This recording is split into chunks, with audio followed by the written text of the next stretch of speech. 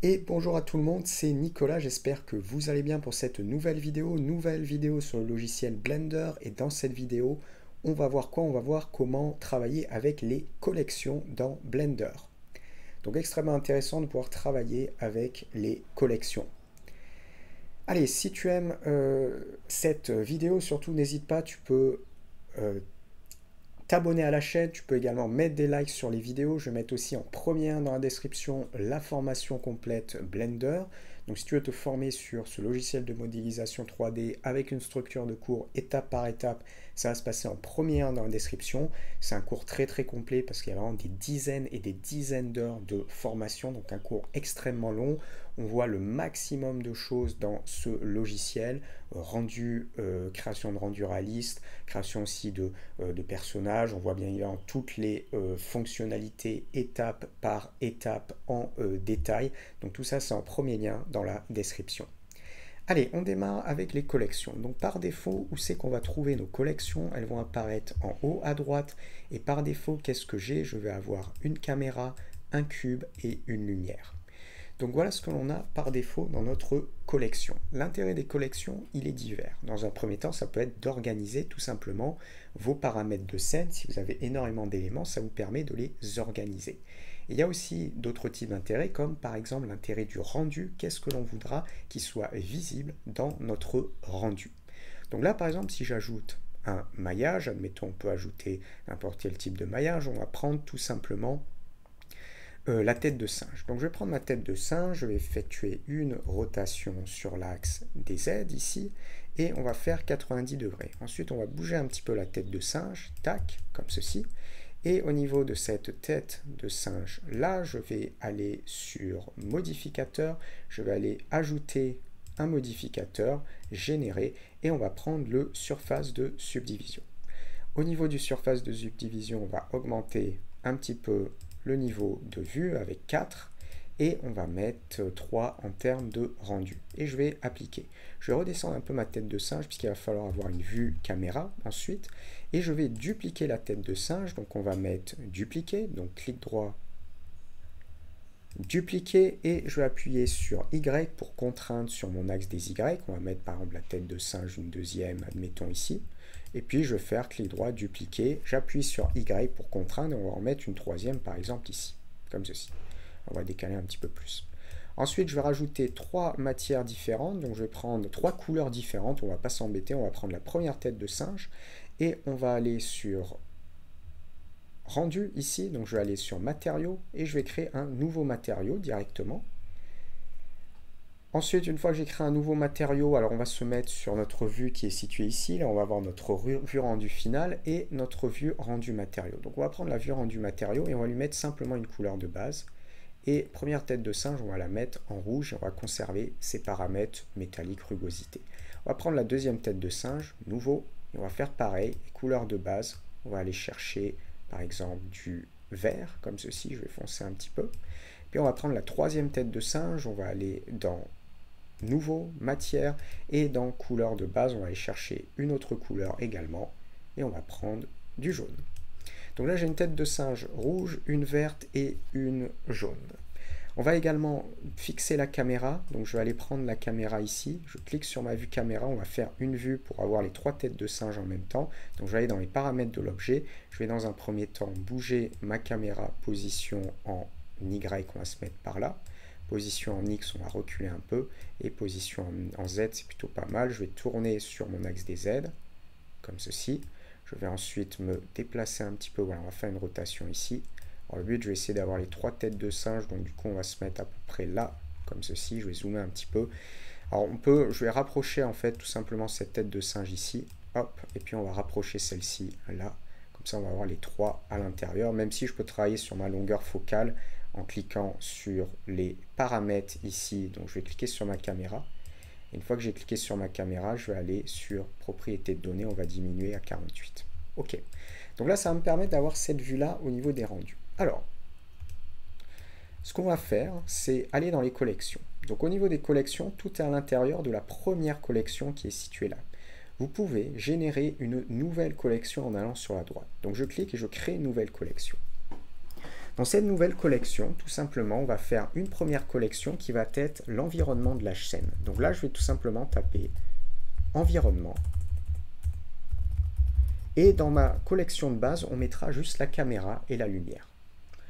Ici, dans la collection 2, je vais mettre, on va mettre singe rouge, par exemple, comme ceci.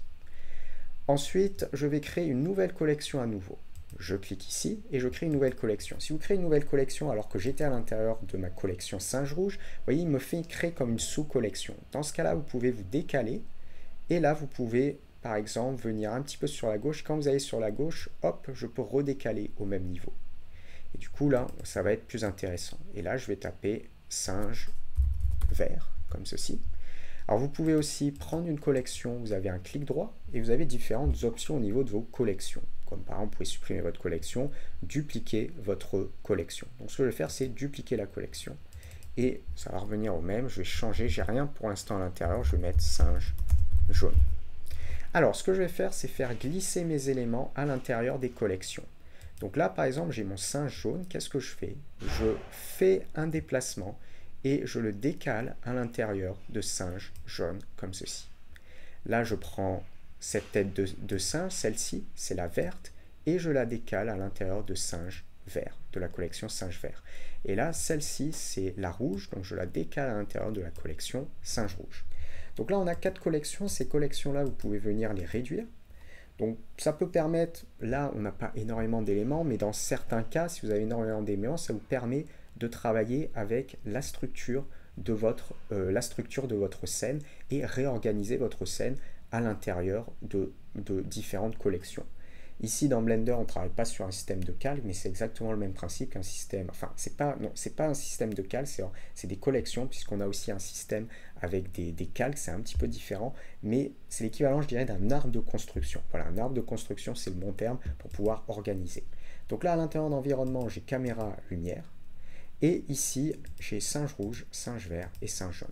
Alors, si je crée un rendu, je vais simplement cliquer ici, juste mettre ma lumière dans de bonnes conditions. Donc je vais dans lumière, je vais augmenter un petit peu la valeur. On va mettre par exemple 4000 ici. Et la lumière, je vais la décaler un petit peu. Je vais appuyer sur G, Z. Je vais la monter un petit peu comme ceci.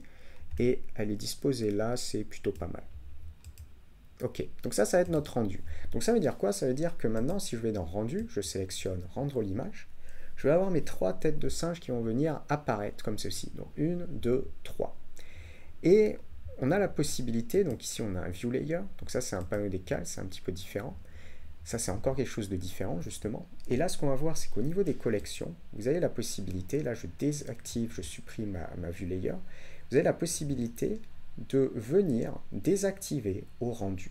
Donc dans un premier temps, alors vous avez deux options. Vous avez caché dans la vue et vous avez désactivé au rendu. Ça veut dire que uniquement dans cette vue-là, par exemple, vous êtes en train de, de, je veux désactiver la vue de mon singe rouge. Je peux déjà directement le désactiver ici.